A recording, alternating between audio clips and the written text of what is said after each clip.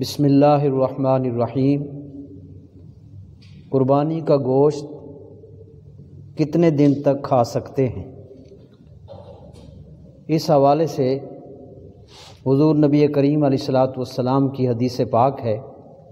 حضرت سلمہ بن الاقوع رضی اللہ تعالیٰ عنہ سے روایت ہے کہ نبی کریم علیہ الصلاۃ والسلام نے ارشاد فرمایا، من دحا من قوم فلا یصبحن بعد ثالثت و بقی فی بیتہ من حشیع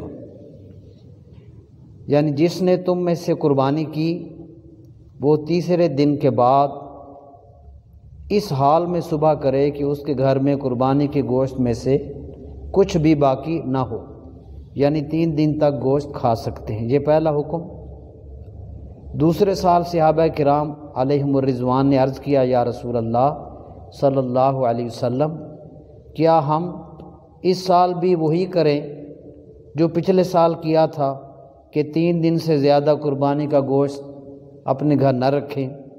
تو آپ صلی اللہ علیہ وآلہ وسلم نے ارشاد فرمایا، کلو و اطعمو و داخرو فعن ذالک العام کانا بناس جہدن فعرت ان تعین فیحہ اب یعنی اس سال قربانی کا گوشت خود بھی کھاؤ، دوسروں کو بھی کھلاؤ اور جمع بھی کرو اپنے گھر میں۔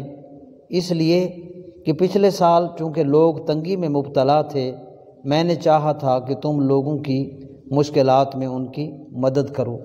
یہ صحیح بخاری کتاب الاداحی میں حدیث نمبر پچپن، انہتر یعنی ڈبل فائیو، سکس، نائن ہے۔ تو اس حوالے سے، قربانی کے گوشت کے حوالے سے کوئی پابندی نہیں ہے۔ جتنی دیر تک استعمال کر لیں، کوئی حرج نہیں ہے۔ اللہ تعالیٰ سمجھ عطا فرمائے۔